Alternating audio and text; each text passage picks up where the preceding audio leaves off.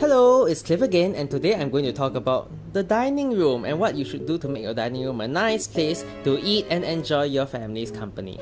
So, the first thing you need to know is what the dining room represents. The dining room is a place that represents your career, your wealth, it, it, it gives you food, and so it is very important. It should be in a commanding part of your house, in the heart of your house, and not tucked away in some dark corner.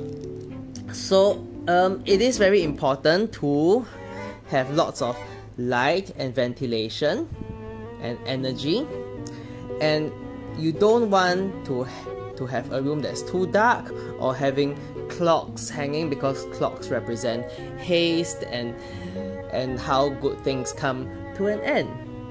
Now i will talk about the table position. The table position of a dining room, very important. That's the main thing people ask when designing a dining room. So this is my table, right?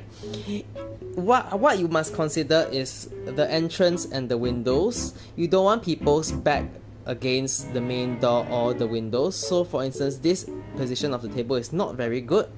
This is not very good. How can I fix this? I just need to rotate it like that and it becomes good. And why this is good? Because the no one is actually facing the back of the table and you have everyone seated uh, in front of a nice strong stable wall so they feel more secure.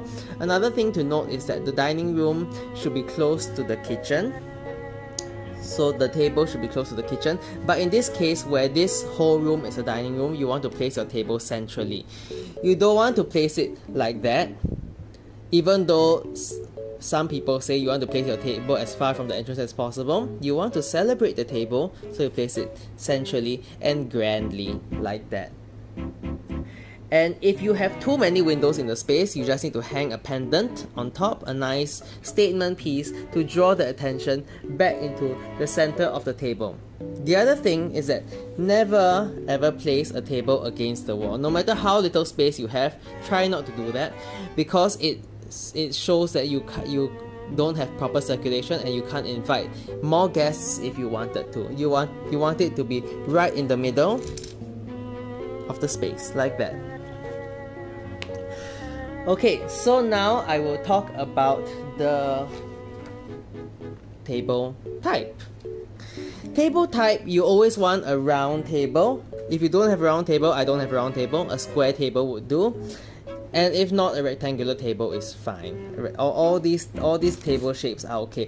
What you don't want is you don't want an irregular shaped table. But it's hard to find those kind of tables anyway. And have a table that's as big as possible because the table is a you want something quite generous to make it easy to use and it gives you that sense of scale that the dining room should offer Okay, an another thing is that with a table, you always try to have something on top of the table. You see, I have my tiny little orange peel to represent the, the bowl of fruits. Because you don't want the table to remain empty. The table should show that you have bountiful food and it should feel like welcoming. So if you have a nice bowl of fruits, it feels welcoming in that sense.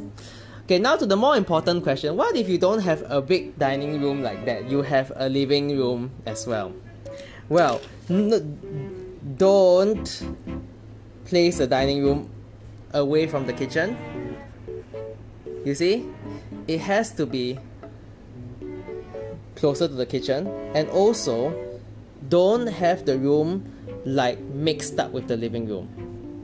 You want it to be segregated from the living room as much as possible. So I put a little stool here to show the living room as a separate space. Some people, they prefer to put a big shelf to divide, but I wouldn't do that as it it, it, the only window in this room is over here. And by doing so the whole dining room becomes very dark. So something very small. You know just to just to suggest that it's a separate space that's all you need. You don't need anything more than that. So i hope uh, this gives you an idea that what, what have i forgotten anything about this space? I think yeah that's all you definitely don't want your dining room against the front door, so I will just rotate it like that. You see, even if my space is small, it's still possible to change. Or if really you can't fit, then put a smaller table. That's fine as well. Don't forget your food. Put a smaller table so so that you can um, Ah! My bowl of fruits is not staying. But never mind. So now you know, just keep your bowl of fruits in the middle of the table.